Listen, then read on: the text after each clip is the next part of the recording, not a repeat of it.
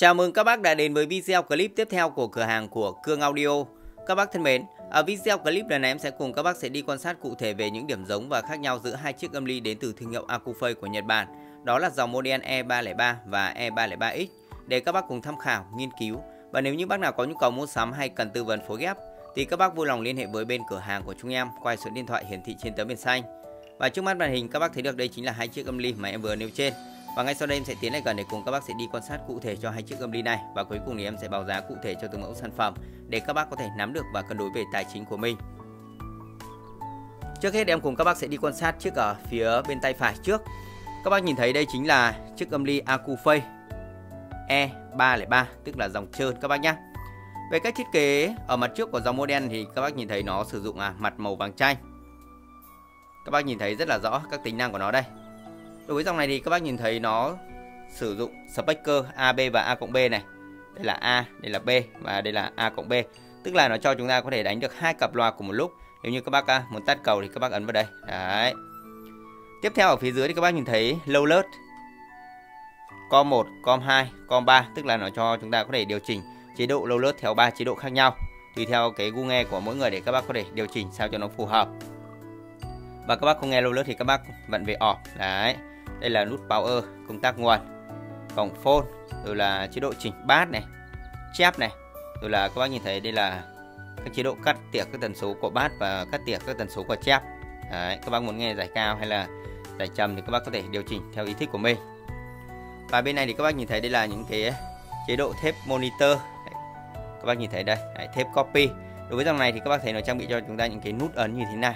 Đấy, để các bác có thể điều chỉnh ở phía bên này thì các bác nhìn thấy đây là các à, đường à, nhận tín hiệu đi vào thôi. Cổng AUX rồi là cổng tuner rồi là DIT 1 DIT 2 rồi là các bác nhìn thấy các chế độ điều chỉnh ở phần um, DIT 1 này. Đấy các bác thấy đây. Rồi là volume rồi là ba lăng. Đấy. Và điểm nhấn của nó thì các bác nhìn thấy nó sử dụng hai cái đồng hồ VU được bố trí nằm ừ, check uh, sang phía bên uh, tay phải một chút. Các bác nhìn thấy đây. Đấy và chiếc âm ly Akufei E303 này thì nó được ra đời năm 78.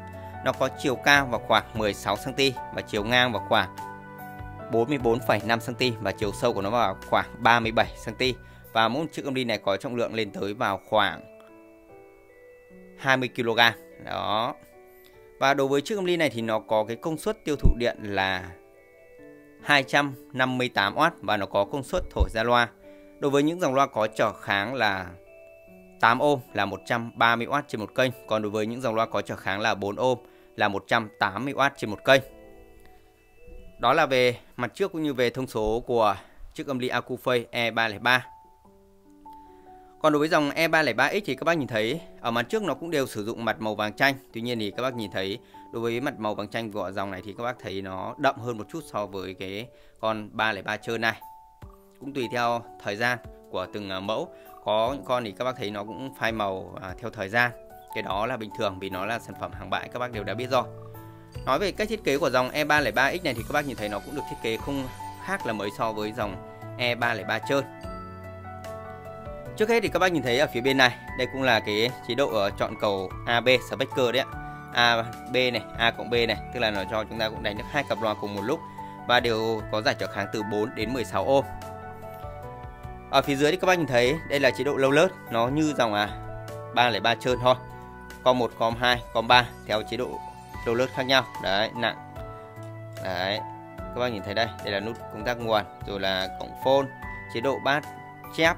Đấy, rồi là cắt tần số của bát và cắt tần số của chép.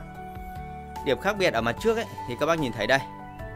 Đối với dòng E303 trơn thì các bác nhìn thấy nó vẫn trang bị cho chúng ta những cái nút ấn ở phần uh, thép monitor, thép copy. Tuy nhiên thì đối với dòng này thì các bác nhìn thấy nó trang bị cho chúng ta một cái nút như thế này để chúng ta có thể điều chỉnh các chế độ. Về decoder rồi là thép copy đấy ba lăng.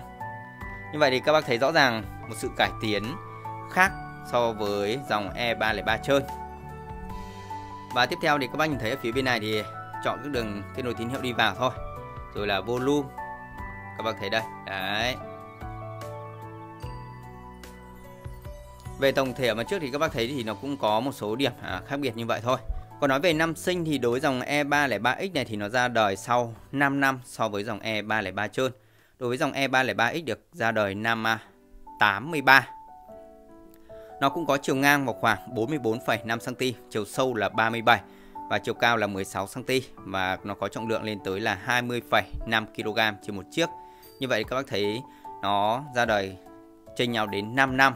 Còn đối với công suất tiêu thụ điện à, của dòng E303X này thì có công suất tiêu thụ điện lên tới là 310W. Và đối với những dòng loa có trở kháng là 8 ohm nó thổi ra là 150W trên một kênh. Còn đối với những dòng loa có trở kháng là 4 ohm là 200W trên một kênh.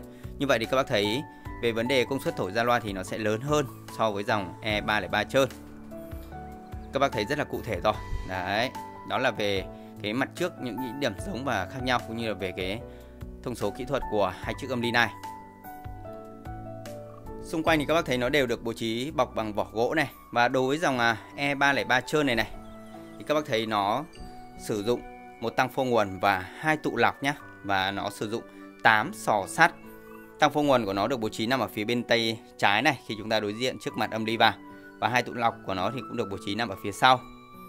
Và hệ thống sò và cũng như là bên à, vỉ âm sắc thì nó được bố trí nằm trách sang phía bên tay phải này. Và các bác lưu ý nhé, nó sử dụng là 8 sò sắt. Còn đối với dòng E303X này thì nó sử dụng lên tới là 12 sò, tuy nhiên thì nó lại sử dụng sò than.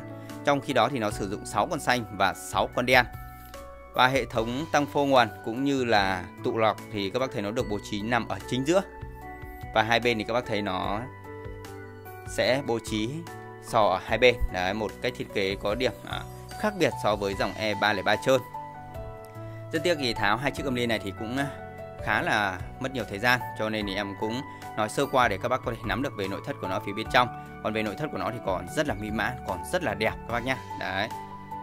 Em cũng nói qua để các bác có thể nắm được. Đây là phía trên nóc của nó đây.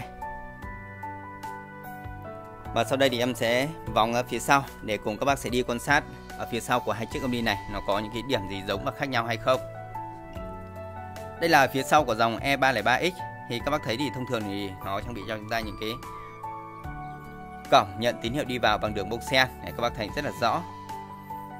X1, X2 rồi là tuner, AUX rồi là thép.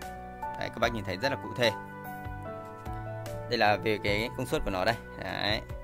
Ba, xin lỗi các bác 258W và các bác nhìn thấy đây là cầu A và dưới là cầu B đưa tín hiệu đi ra loa đấy. Các bác nhìn thấy rất là cụ thể.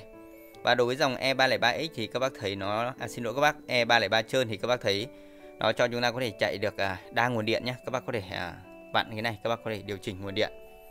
Và các bác nhìn thấy đây là dây nguồn của nó thì nó sử dụng à, dây rắc hai chân rồi. Đấy. Đó là tổng thể phía sau của dòng E303 trơn còn đối với dòng E303X thì các bác nhìn thấy ở phía sau thì nó có sự à, khác biệt. Thông thường thì các à, cổng nhận tín hiệu đi vào thì các bác thấy nó vẫn trang bị như vậy thôi Tức là nó chỉ khác nhau về cái cách bố trí đặt thôi Còn về các cổng nhận thì nó cũng tương đương như nhau. Và các bác nhìn thấy đây là về phần thông số của nó rất là cụ thể Lúc này em cũng nói rồi Công suất tiêu thụ điện là 310W Đấy E303X Và có tần số là 50 trên 60 Hz Các bác thấy ở phía sau của dòng E303X thì đối với việc uh, cầu đưa tín hiệu ra loa thì các bác thấy nó trang bị cho chúng ta những cái giác vặn như thế này rồi. Như vậy thì các bác thấy rất là thuận tiện rồi. Các bác có thể chọc vào dây vào đây là chúng ta có thể vặn vào rất là chắc chắn so với dòng E303 trơn. Và các bác thấy một điểm tiếp theo thì nó sử dụng dây nguồn liền đấy. Nếu như dòng E303 trơn thì nó vẫn sử dụng dây nguồn rời thì đối dòng E303X này thì nó sử dụng dây nguồn liền đấy. Đó là tổng thể ở phía sau thôi.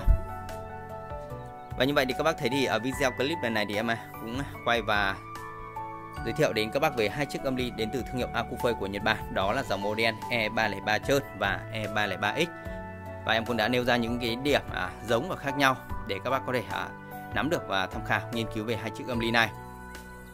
Và đối với hai chiếc âm ly này thì các bác có thể dễ dàng phối ghép với rất nhiều các dòng à, loa khác nhau. Những dòng loa Nhật, loa Mỹ, loa Âu đánh rất là tuyệt vời. Và đối với dòng Akufei E303 chơi thì có mức giá là 32 triệu đồng. Còn đối với dòng E303X thì có mức giá là 41 triệu đồng tùy theo cái sở thích cũng như là điều kiện kinh tế của các bác để các bác có thể à, cân đối lựa chọn cho mình những sản phẩm audio mà nó phù hợp với túi tiền cũng như là sở thích của mình. Và sau đây thì em cũng xin phép được tạm dừng video clip này ở đây.